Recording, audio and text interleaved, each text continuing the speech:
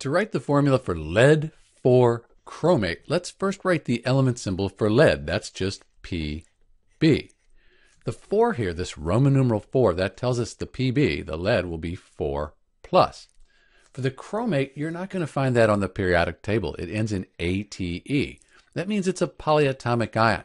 So you either memorize that the chromate ion is CrO4 and the whole thing has a charge of 2 minus, or if you're allowed, you look it up on a table of polyatomic ions.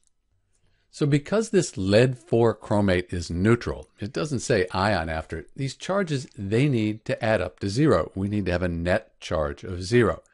In order to do that, we'll need to have two of these chromate ions because the whole chromate ion here that has a 2 minus ionic charge. So if we had two of these, 2 times 2 minus, that's 4 minus, that'd balance out the 4 plus.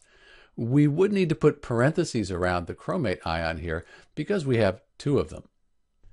And this is the formula for lead 4 chromate, PbCrO42. If you are given the formula and asked to write the name for PbCrO42, you know that the chromate, the whole thing is 2 minus. So you have 2 minus times the 2 here, 4 minus the lead. That would have to be the 4 plus. And since lead is a transition metal, it's called a post-transition metal, you need to write that Roman numeral up here to show that in the formula. This is Dr. B with the formula and the name for lead 4 chromate. Thanks for watching.